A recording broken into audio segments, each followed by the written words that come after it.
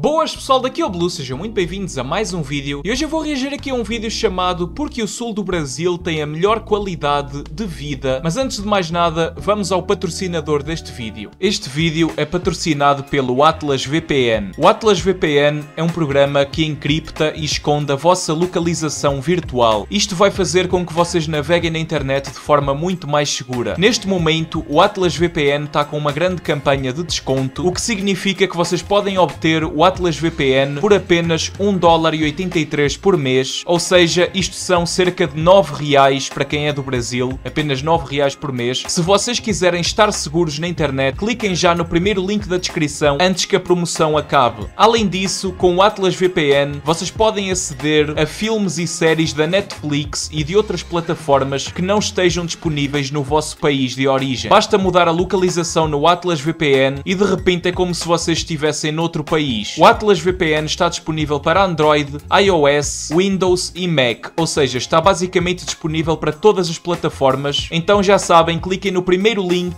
da descrição e do comentário fixado para não perderem esta fantástica oportunidade de estarem seguros na internet. Cada vez a internet é um local mais perigoso. Se vocês se arrependerem ou mudarem de ideias, o Atlas VPN devolve o vosso dinheiro nos primeiros 30 dias, então não têm nada a temer. Muito obrigado ao Atlas VPN por patrocinar este vídeo. E enfim, é isso. Vamos continuar continuar com o vídeo. Sigam no Instagram se vocês ainda não seguiram, o link está aí no primeiro comentário. E vamos lá então ver aqui este vídeo. O vídeo do canal Planeta Visionário, eu vou deixar o link do vídeo original aqui na descrição e bora lá ver então porque é que o sul do Brasil tem a melhor qualidade de vida. Bora lá. Qualidade de vida é algo muito restrito para boa parte da população brasileira. Quanto mais ao norte, pior tende a ser a qualidade de vida da região. Porém, o sul do Brasil apresenta características únicas que fazem dos três estados dessa região como os que possuem a melhor qualidade de vida. Mas como a região atingiu esse patamar? E será que ela vive uma realidade completamente distópica do resto do Brasil? Você vai entender tudo nesse vídeo. Ok, vamos Santa lá Catarina, ver então. Paraná e Rio Grande do Sul. Esses, Esses são, são os três estados, não é? É Santa Catarina, Paraná e Rio Grande do Sul. São os três estados do sul do Brasil não é? Acho que é isso. São bastante conhecidos esses estados. Eu já vi muita coisa sobre o Brasil, portanto eu também sou meio suspeito para falar, mas é verdade, eu já vi muita coisa sobre esses estados. Na região do país, a região sul. Mas não se deixe levar pelo tamanho. Essa é a segunda mais rica e a terceira mais populosa do país. Além okay. de ser a única das regiões fora da zona intertropical. Isso faz com que todas as estações do ano sejam muito bem definidas. Certo. Essa fronteira. Ou seja, é basicamente como aqui, não é? As estações do ano são todas definidas, é tal e qual como é aqui em Portugal. Para quem não sabe, aqui é assim também. Só que eu acho que no sul do Brasil deve ser ao contrário, não é? Ou seja, quando aqui é verão, lá deve ser inverno e vice-versa, não é? Porque no hemisfério norte as estações são o contrário do hemisfério sul. Portanto, eu acho que é isso. Aqui o verão, agora neste momento, aqui ainda estamos no verão, agora em agosto. O verão começa em junho e acaba em setembro, aqui. Portanto, no Brasil Brasil deve ser desde dezembro até março, acredito eu. Deve ser isso. Comentem aí se eu estiver correto e se eu estiver errado, comentem aí também, mas eu acho que é isso mesmo. Com Uruguai, Argentina e Paraguai. A região possui especialmente dois biomas: o da Mata Atlântica, presente nos três estados, e o de Pampas, encontrado exclusivamente nessa região, no sul do Rio Grande do Sul. Esse último é caracterizado pela existência de campos, por isso, o solo dos Pampas, ao longo dos séculos, vem sendo utilizado para a criação de gado, okay. sofrendo com assoreamento. Já a região onde se encontra a Mata Atlântica. Mano, eu já tinha ouvido falar da região das Pampas da Argentina, não sabia que a região sul do Brasil ainda tinha esse tipo de bioma, mas pelos vistos tem. É caracterizada especialmente pelas araucáceas, que é muitas vezes dita como o pinheiro da América do Sul. Essa região é uma das mais frias de todo o Brasil, apresentando 8 das 10 menores temperaturas registradas no país. Ok. Essa também eu uma, é uma vez reagi a um vídeo sobre neve no Brasil e se eu não me engano, eu acho que essa neve foi na região sul. Eu acho que onde neva é só no sul, não é? Comentem aí se eu estiver correto. Eu acho que é isso mesmo. Mas já não me lembro bem, já foi há muito tempo. Foi para aí há 3 anos ou mais. Já não me lembro muito bem. Tenta neve e geada anualmente. Essa característica faz com que muitas cidades tenham a possibilidade de um inverno turístico, sendo uma das únicas regiões do Brasil a ter essa possibilidade. Uma das mais famosas cidades com essa característica é Gramado, conhecido por praticamente todos os brasileiros. Ok.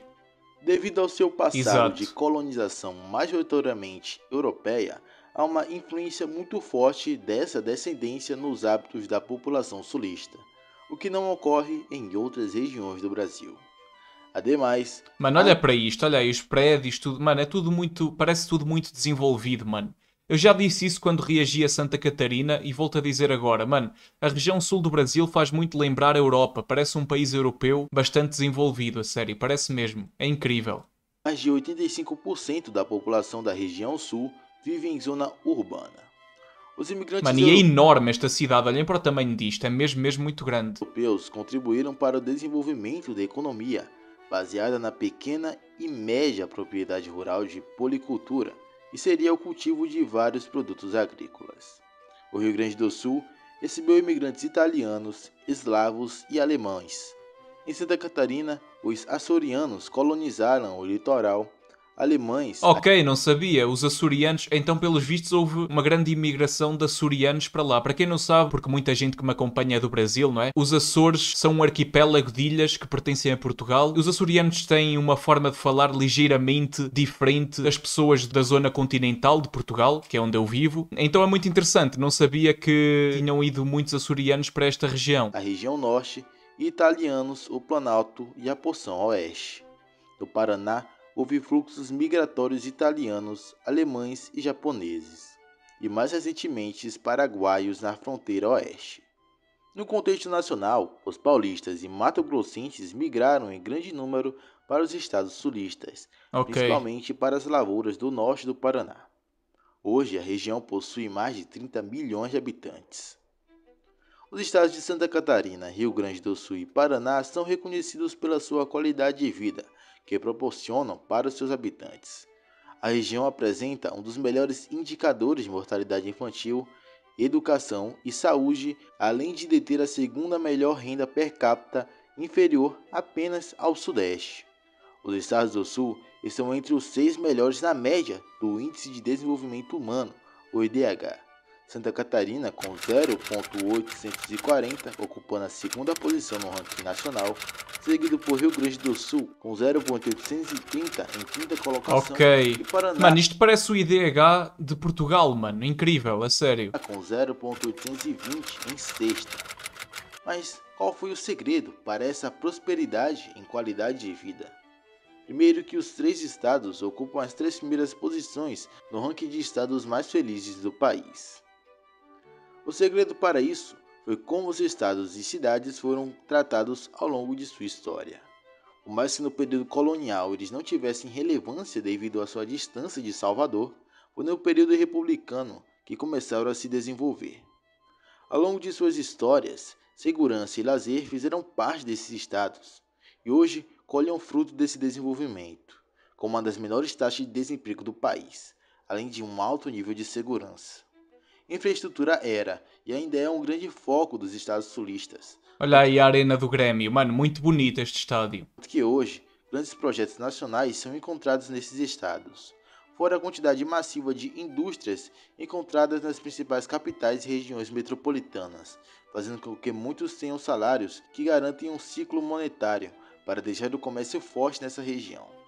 Além disso, a contribuição de imigrantes europeus dispostos a recomeçar a vida em uma nova região formou Mano, muito bonito, a sério. Isto parece mesmo, mesmo Europa, ok? Isto aqui, se me mostrassem isto e não me dissessem que era no Brasil, eu não sabia. A sério, parece muito mesmo Europa. A sério, isto é literalmente Europa, mano. Parece quase a Alemanha ou, sei lá, a Suécia, um país assim, mano. Parece muito, mesmo, a sério.